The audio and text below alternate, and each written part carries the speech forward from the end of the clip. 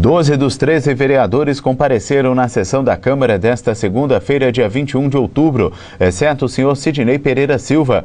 Os presentes fizeram as seguintes indicações de infraestrutura. Valdemar Favorete de Souza, regulamentação do estacionamento da rua Pouso Alegre, nas imediações do supermercado Poliana. Parceria com a Polícia Militar para viabilizar policiamento nos horários de entrada e saída das escolas. Realização de melhorias no terminal rodoviário Hugo Duarte. Notificar os proprietários dos terrenos baldios, visando a realização dos serviços de limpeza e capina. Providenciar laudos técnicos referente à estrutura das pontes da cidade. Carlos Lucas do Nascimento, reunião com os membros da Comissão dos Quiosques, projeto para tubulão de acesso bairro UDR, bairro Novo Horizonte, instalação de faixa de pedestres na rua Itambacuri, em frente à Escola Girassol, limpeza e manutenção dos bairros Getúlio Vargas, Zaru e Caíque, reforma da Praça do Bairro Zaru, manutenção das ruas do bairro Campinho, aterro e patrulhamento dos bairros Caíque, UDR, Isadélfia, Romilda Ruas e Reta. Helene Ramos Almeida, serviço de capina, limpeza e recolhimento de entulhos em torno da Praça Natan Rosenberg, no bairro Vila Esperança. Instalação de um poste de energia elétrica na rua Indiana, nas imediações do número 233, no bairro UDR. Qual a previsão para instalação de postes de energia elétrica na rua Maria Quitéria, no bairro Vila Esperança? Moção de aplausos às senhoras Ingrid e Daniela pela realização da festa das crianças na quadra do bairro Vila Esperança. Moção de aplausos ao senhor Zezinho, presidente da Associação dos Moradores do bairro UDR, pela realização da festa das crianças no bairro UDR. Antônio Carlos Aranha Ruas, operação Tapa Buracos no bairro da Reta, patrulhamento das ruas do bairro Romilda Ruas, iluminação no final da rua Camilo Saide no bairro 7 de setembro, instalação de ponto de ônibus escolar na BR-418, acesso ao bairro 7 de setembro. Marcelo Santos Félix, serviço de capina, limpeza e poda de árvores, reforma e pintura e manutenção do serviço de iluminação na praça localizada na rua Ladainha, fundos da antiga CCPL. Capina, limpeza, poda de árvores e manutenção do serviço de iluminação no calçadão da rua Carijós, no bairro Laticínios. Calçamento da rua Urufino, trecho localizado entre rua Sabará e rua Pedra Azul calçamento da rua Curvelo, a partir do número 252, no bairro Estela Matutina. Moção de aplausos aos senhores Simvaldo Neves de Souza e José de Jesus pelos relevantes serviços prestados à comunidade na rua Nova Lima. Moção de aplausos ao ilustríssimo senhor presidente da Associação dos Moradores do bairro 7 de Setembro pela realização da festa em comemoração ao Dia das Crianças. Gilmar dos Santos Pereira, recapeamento asfáltico e operação tapa-buraco nas ruas Carlos Gomes, Avenida Brasil e Avenida Nanuque. Edson Fernandes dos Santos concede o título de cidadão honorário do município de Nanuque ao ilustríssimo senhor Salvador Pereira Lima. Manutenção do serviço de iluminação, quadra, pintura, redes de proteção do Estádio Municipal Murilo Badaró. Instalação de placas em estabelecimentos públicos municipais que indique a preferência ao autista em obediência à lei federal. Recolhimento de entulhos na Rua França, nas imediações do número 20 no bairro Nações Unidas. Recolhimento de entulhos na Rua Hungria, nas imediações do número 41 no bairro Nações Unidas. Realização do serviço de capina, limpeza e recolhimento de entulhos na Avenida Mucuri, nas imediações do número 1971. Realização do serviço de capina, limpeza e recolhimento de entulhos na rua São Lourenço. Realização dos serviços de capina, limpeza e recolhimento de entulhos nas proximidades da sede da PM de Nanuque. Realização dos serviços de capina, limpeza e recolhimento de entulhos nas avenidas Nanuque, Santos Dumont e praças do município. Manutenção nos corrimões das pontes. Manutenção das lâmpadas e postes de energia elétrica da cidade e dos distritos. Esclarecimentos referente ao aluguel do imóvel na rua Claudionor Moura, número 296, no bairro Novo Horizonte, há cinco meses para a instalação de uma UBS. Realização da regulamentação fundiária e plano diretor na cidade e nos distritos. Planilha de custos das cirurgias eletivas já agendadas no HPS, especificando o valor de cada uma. Relação de impostos municipais pagos pela Expresso Três Fronteiras com os devidos valores. Levantamento das pessoas com autismo no município se recebem benefício e acompanhamento médico. Esclarecimentos referente ao remanejamento dos enfermeiros das UBSs com nomes e locais. Requer do senhor presidente da Câmara as seguintes informações: qual a empresa realizou a reforma da Câmara Municipal? Valor pago e por qual motivo não se finalizou o serviço.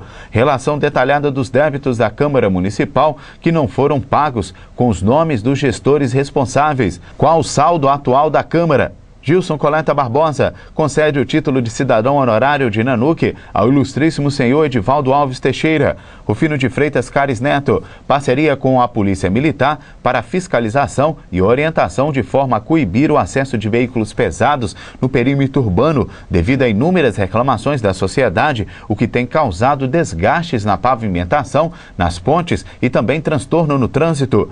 Sidney Pereira Silva reitera pedido de apoio logístico ao poder público a organização da festa da padroeira do município, que acontece anualmente em Nanuque. Aceito a nossa sugestão desde junho de 2018.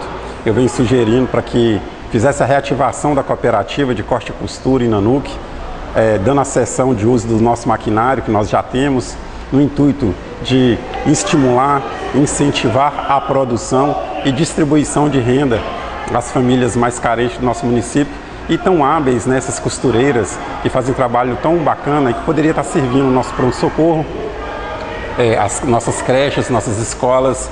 Tem, nós, nós temos nos nossos municípios muitos segmentos que necessitam dessa mão de obra e desse material também. Então, que a nossa própria prefeitura pudesse fazer a compra desse, desse, desse material disponível dentro dessa produção é, ofertada junto a essas costureiras, que é de muita relevância para o nosso município. E também gostaria também de parabenizá-lo também por ter aceito a nossa, a nossa indicação do projeto Menor Aprendiz. Eu fui menor aprendiz a partir dos 14 anos, eu fui menor aprendiz no Banco do Brasil e sei o, o que é de incentivo, de desenvolvimento pessoal, é, capacitação profissional, a dignidade às famílias que trabalham que estão com os jovens disponibilizados para poder exercer essas funções. Então, a questão do aprendiz legal, é nada mais do que fazer um estímulo à nossa população, elevar a autoestima da nossa população, trazer a nossa população para mais perto e dar principalmente felicidade às nossas famílias. Você poder falar em felicidade com a família nanuquense hoje é você ver no, nos olhos dela, saber que está contratando um jovem, mesmo aquele que não está sendo contratando, mas só de estar tá oferecendo um curso de capacitação profissional para ele, você já o estimula a estar tá desenvolvendo ainda que melhor ainda na, na, sua escola, no seu meio de relacionamentos, junto com sua família. Então é uma maneira de nós valorizarmos e incentivarmos a nossa, a nossa população e principalmente nada melhor do que incentivar os nossos jovens a ter o seu primeiro emprego. Eu venho pregando isso aqui desde o início do mandato. O seu primeiro emprego é fundamental no desenvolvimento do nosso município. Eu trabalho com jovens nas escolas e a gente vê a realidade dos que já trabalham, que tem um pequeno emprego, a grandeza que ele trata esse, sentido de, de, de, de, convivência em seu meio, a responsabilidade, como ele aguça o sentido de responsabilidade na escola, seja até nos treinamentos esportivos a gente presencia esse, esse sentimento de valorização que tem os nossos jovens com relação ao seu primeiro emprego.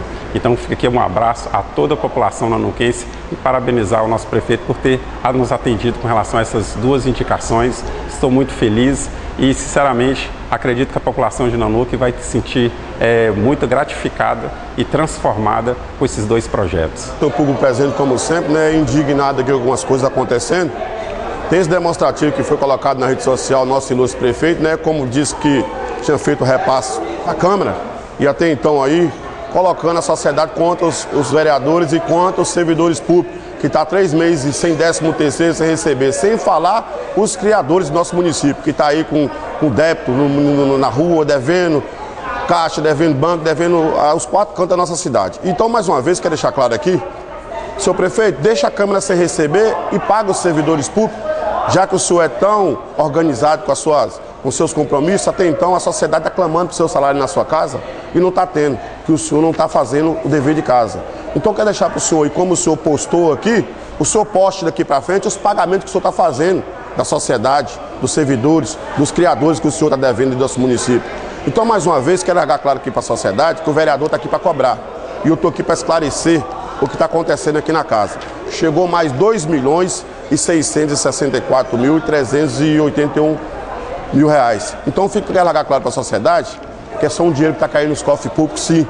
Que o nosso ilustre prefeito faça o dever de casa da forma correta e leve o sustento da nossa cidade a cada pai de família que está dessa forma aí. Sem salário, décimo terceiro, devendo os quatro cantos da nossa cidade. E vou deixar claro aqui um problema que está seríssimo no nosso município. Falta de médico, falta de remédio da farmacinha, Agora está com o remanejamento de, dos enfermeiros, que tirou o enfermeiro da reta. A gente vamos fazer esse levantamento aí.